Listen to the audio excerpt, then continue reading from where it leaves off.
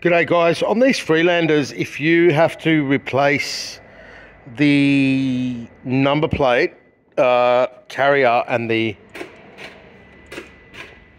this thing, so it bolts on from the inside, be careful not to break the glass, right? It's very straightforward, but to release this lock, okay, so you can't get into the back of this thing. It's a one-time fit, okay, and that's it there.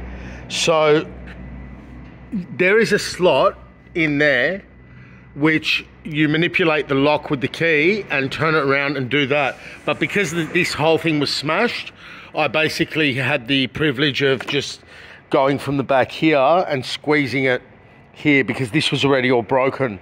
Uh, so that's the back of the lock. And basically it's gonna be a, I'm not gonna be cocky and fit it now, okay? But it's gonna be a one time fit. It's not something you want to get wrong. Okay, and uh, you can see how the lock fits in there. So there's no access from the back. So if you're changing this lock, you actually do it from the slot here. Or was it here? Oh yeah, sorry. You do it from the slot here and you do not need to remove the whole thing. Hope that helps, babe.